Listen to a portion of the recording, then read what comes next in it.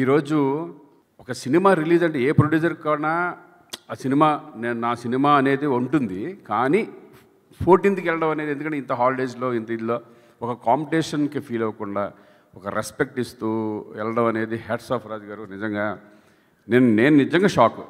ఎవరు ఇంత ధైర్యం చేయలేరు. ఎందుకంటే ఏ ప్రొడ్యూసర్ కూడా ఒక సినిమా ఇండస్ట్రీలో ఉంటే నా సినిమా నా సినిమానే అనుకుంటారు డెఫినెట్గా.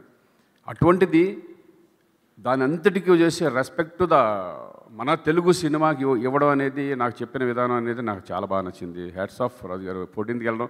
Okay yes good no problem ఎందుకంటే మంచి ఒక మనం తీసింది మంచి సినిమా అనేది నేను నమ్ముతున్నాను. ఎందుకంటే నేను ఎప్పుడో ఫ్యామిలీ సినిమాలు చేశాను అప్పట్లో. ఈ మధ్యకాలంలో నేను చేయకపోయినా ఈరోజు ఫస్ట్ టైం నేను తమిళ్ళో ఒక సినిమా చేయడం. వారసుడు అనే సినిమా నాకు అవకాశం.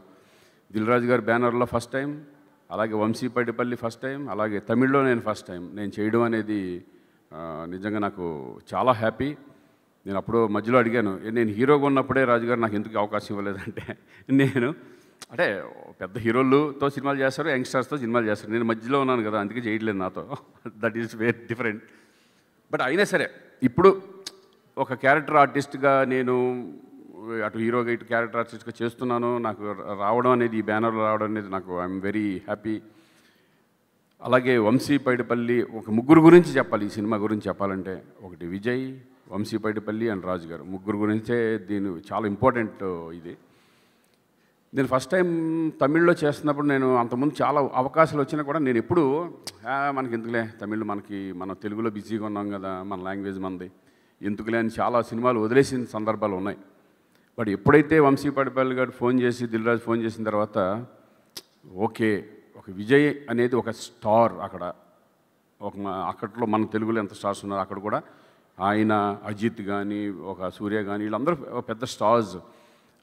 వాళ్ళతో ఒక సినిమా ఫస్ట్ సినిమా నేను చేస్తే బాగుంటుంది అనుకుని వాళ్ళు వాళ్ళ అవకాశం రా నాకు ఇవ్వడం జరిగింది. నేను వెళ్ళి చెప్పిన తర్వాత ఇమ్మీడియట్గా ఏం మాట్లాడలేదు. ఎస్ నేను చేస్తున్నాను.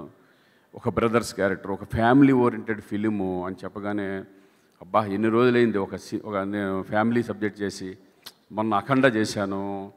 అంతకుముందు చాలా సినిమాలు చేశాను బట్ నాకు ఎందుకంటే మళ్ళీ ఫ్యామిలీలో ఒక చక్కటి ఎమోషన్ సెంటిమెంట్ ఆ టైప్ ఆఫ్ ఫీలింగ్ ఉన్న ఫిలిం అనేది రావడం అనేది కూడా నాకు నిజంగా చాలా హ్యాపీ హ్యాపీగా ఉంది.